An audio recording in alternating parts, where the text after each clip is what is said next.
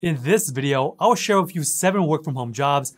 All of these jobs are remote and can pay upwards of $40 an hour. In fact, some of these jobs that I will mention in this video are from large companies, so you can rest assured that these are legitimate occupations. What's up, winners? My name is Naam. If you're new here, welcome. Here we talk all things personal finance. Start now by subscribing so you don't miss out on any future videos. Gas prices are soaring in the United States right now and that means working from home could potentially save you hundreds of dollars and tons of time. The increase in gas prices and the oncoming summer heat is gonna make people a little angry. How long will it be before your highway experience mimics Mad Max? How much would it be worth it to you to never sit in traffic, burning your gas and cash, going to a job that you hate? Wouldn't it be better just to sit at home and do a job that you hate you might find out that it's the commute that you hate and not the job. As the country continues to lurch back to the office, there's an ongoing battle between employers who want to go back in the offices and workers who want to work from home. Many people are leaving their previous jobs because they find that working from home is a much better option.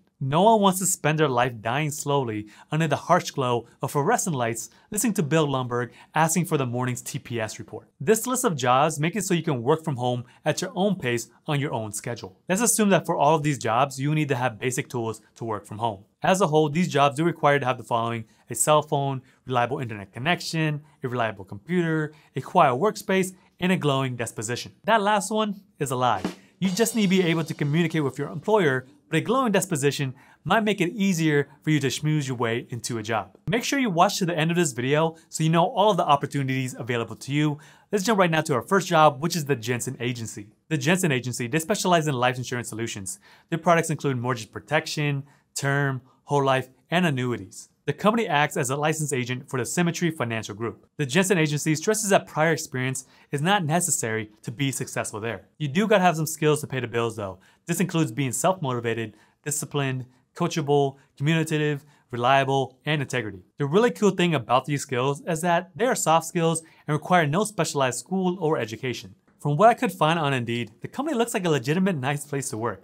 You don't gotta worry about cold calls because the clients are coming to you. Now, here's the most important part.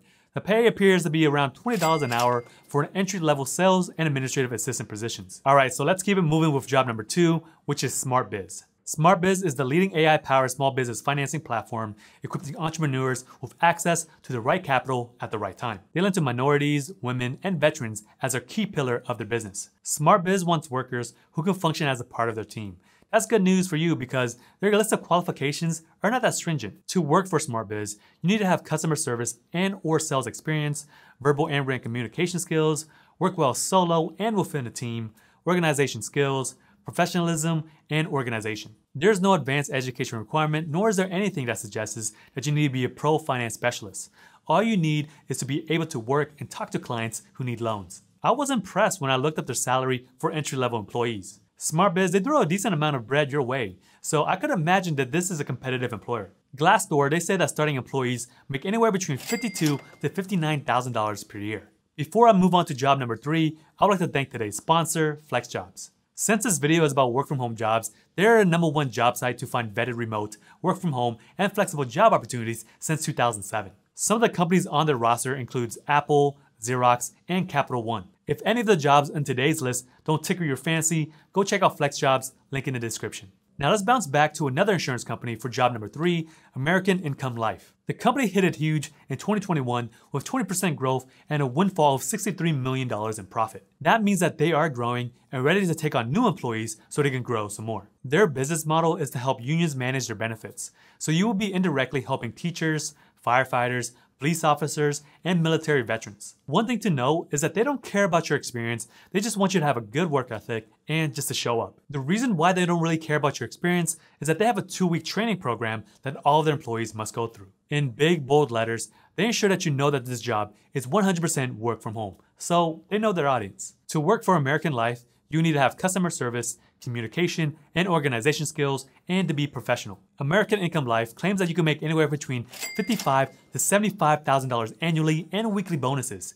If you hustle and grind, this could be a lucrative job for you. Now let's keep it moving with job number four, which is QuinStreet. What kind of job list would this be without at least one inbound sales job? Come on, you know that they're out there and the pay is pretty good for their task. To be fair, this job would be hell for anyone who doesn't like to talk to people. The good news is that this job has a regimented schedule from Monday to Friday, so you won't be casting straight assignments like on 11:49 p.m. on a Saturday. Some additional perks include insurance, and they actually provide you with the equipment and tech to do your work. This company wants you to have a diploma or a GED at a minimum. Some prior experience is nice, but not required, and you gotta be able to communicate well. Some skills that you need to work for this company includes customer service, communication, organization, and also professionalism.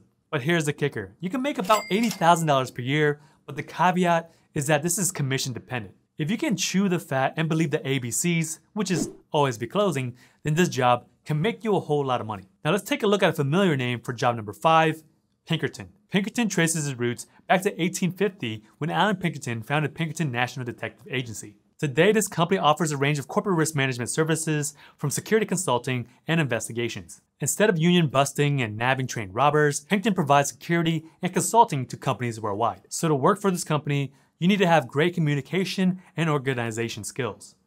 They're pretty flexible with their experience preferences, so it is good to remember to point out that preferences are not requirements. So for this job, you can expect to make anywhere between $39 to $42,000 a year.